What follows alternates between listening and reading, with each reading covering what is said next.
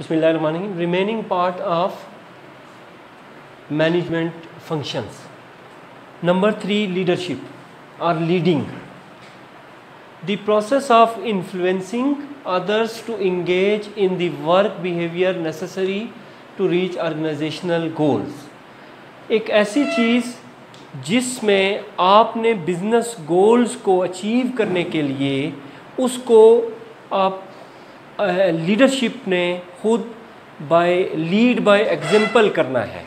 मतलब क्या? मतलब ये हुआ कि ऑर्गेनाइजेशनल गोल्स को आप उन ऑर्गेनाइजेशनल गोल्स को अचीव करने के लिए जिस वक्त इन्फ्लुएंस करते हैं, किसको?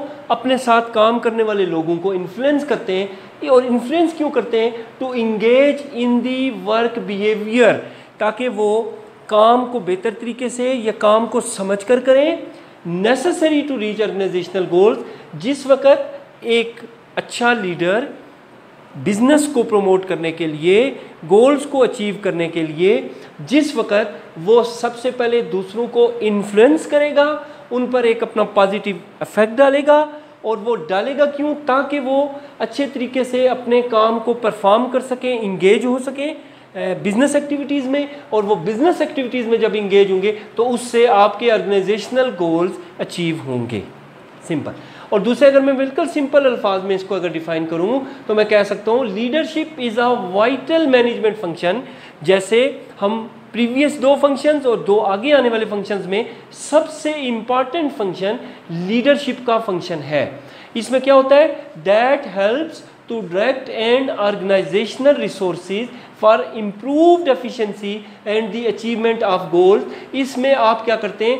ऑर्गेनाइजेशनल जो रिसोर्स आपके पास मौजूद हैं उनको बेहतर एफिशिएंसी के साथ बेहतर इस्तदाद कार के साथ बे, बेहतर जो है वो लेबर फोर्स के साथ लोगों के साथ आप उसको बेहतर तरीके से करते हुए अपने गोल्स को अचीव कर लेते हैं। ये ऑर्गेनाइजेशनल रिसोर्सेज जिस वक्त अच्छे लोगों के साथ मिलती है लोग उस पर काम करते हैं तो आप आसानी के साथ जो है ये ऑर्गेनाइजेशनल गोल्स जो है वो अचीव कर सकते हैं।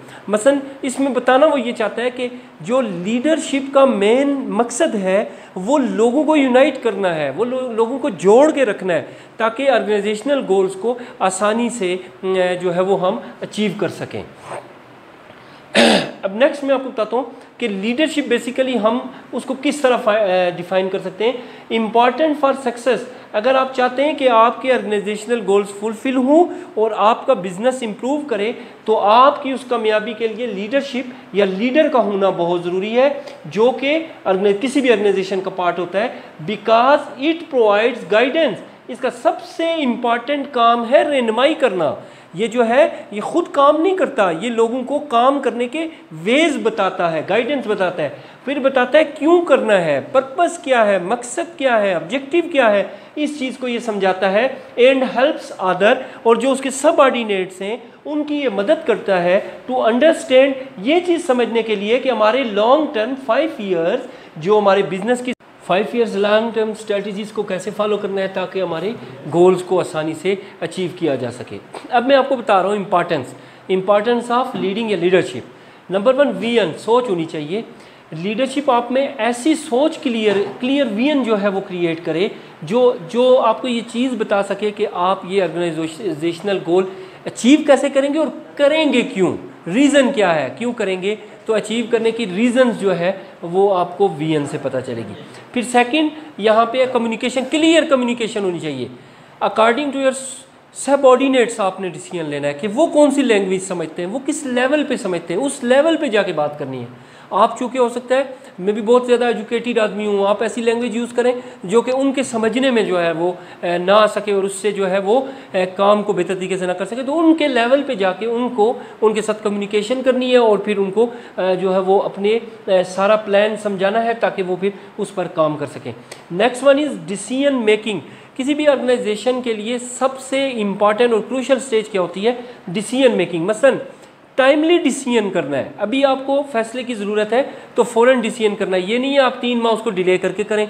तो अगर वो आप जितना ज़्यादा उसको टाइम पीरियड को ख़राब करेंगे, इतना ज़्यादा जो है वो ऑर्गेनाइजेशनल गोल्स पे तो यहाँ पर लीडरशिप का जो है वो एक डिफरेंस पैदा होता है कि वो टाइमली डिसीज़न लेता है। पैशन जुनून, जज्बा, इस हद तक आप जो है अपने सबॉर्डिनेट्स में इस चीज़ को डाल दें कि वो आखिरी लिमिट तक चला जाए और वो ये समझ ले कि ये मेरी ज़िंदगी और मौत का मसला है।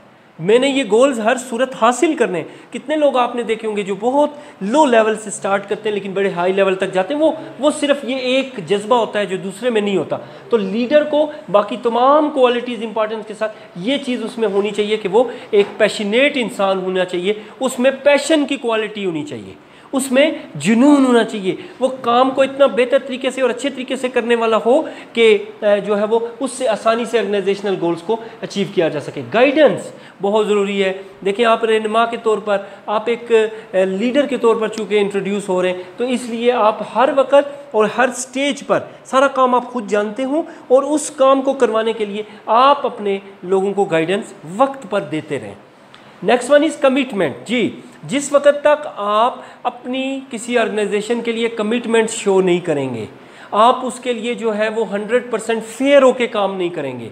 आप उसके लिए, आप उसको अपनी ऑर्गेनाइजेशन नहीं समझेंगे तो कभी भी आपके गोल्स अचीव नहीं हो सकते। हो भी गए तो 100 परसेंट रिज़ल्ट नहीं देंगे। इसलिए सबसे पहले उनमें ऐसा उनको मोटिवेशनल लेक्चर इस पर दिया जाए कि आपने कमिटमेंट शो करनी है। आप जो है, वो आपकी अच्छे काम की वजह से ऑर्गेनाइजेशन का नाम बनेगा और आपके ना होने की वजह से ऑर्गेनाइजेशनल गोल्स जो है, वो अचीव नहीं होंगे तो नुकसान होगा। तो कमिटमेंट बहुत ज़रूरी है।